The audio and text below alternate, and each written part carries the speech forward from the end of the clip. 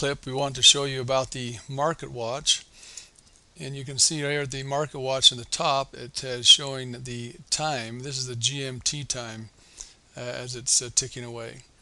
Uh, this is an independent part of the platform. It's a, you can move it around and resize it. You can put it in a different place if you like it.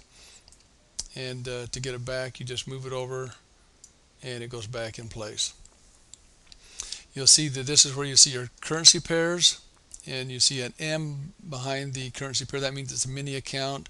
You also see your bid and ask. We're going to just show you the main features you need to know how to to use it. You'll see here at the bottom we click on the tick chart or the symbols but you can also hit the space bar and go back and forth between the tick chart and symbol. You can right click any place in the market watch you can then actually uh, place a new order from this point or click the F9 key. If you want to see a different uh, chart than you have up you would then click on the chart and it moves to the chart that you have uh, selected. We've gone over the tick chart. You can see that we have the hide or delete key.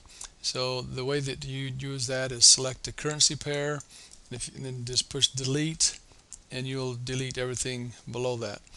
To bring those back you right click in the uh, market watch area push show all symbols and all the symbols are back. You can delete up to all but three of the currency pairs. Uh, many people like to see the high and low and the time and then we just drag this out and you can see that you can see the bid ask high low and the time that it took place. To take those off you just right click in the area of the market watch and you take off the high low and the time and you move it back over and then you're back to where you started from. Um, the last feature that I like to show you is the pop-up box. You click on that and it brings up an independent box. You can actually click on right click any place in that box and then look at the properties you can change the colors the size uh, all the currencies that you see in the pop-up prices are those that you have shown in the market watch so if you want to see this from across the room you can make a one or two currency pairs really large and put it on your screen someplace and you can select to have it always on top of uh, your computer to check the, the prices.